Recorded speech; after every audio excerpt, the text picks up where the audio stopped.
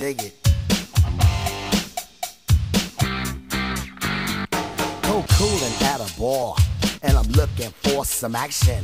But like Mick Jagger said, I can't get no satisfaction. The girls are all around. But none of them wanna get with me. My threads are fresh and I'm looking deaf. Yo, what's up with LOC? The girls was all jocking at the other end of the bar. Having drinks with some no-name chump when they know that I'm the star. So I got up and strolled over to the other side of the cantina. I asked the guy, why you so fly? He said, Funky Cold Medina.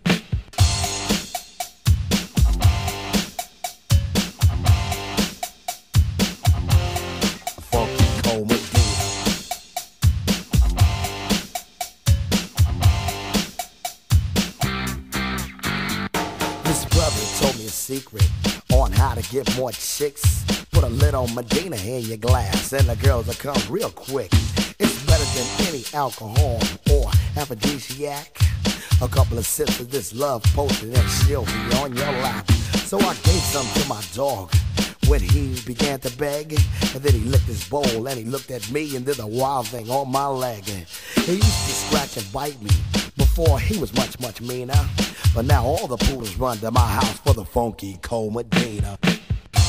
You know what I'm saying? I got every dog in my neighborhood breaking down my door. I got Spuds MacKenzie, Alex from Strohs. They won't leave my dog alone with that Medina pal. I went out to this girl. She said, Hi, my name is Sheena. I thought she'd be good to go with a little funky cold Medina. She said, I'd like a drink. I said, um, okay, I'll go get it. And then a couple of sips, she go lick the lips, and I knew that she was with it. So I took her to my crib, and everything went well as planned.